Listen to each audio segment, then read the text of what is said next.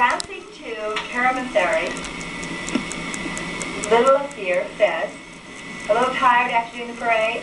A little nervous? Mm-hmm. Having fun? Absolutely. and it's all worth it, as long as everyone is having fun, right? Right. Right. And she wishes everyone a happy and fun 4th of July. Welcome, please, Little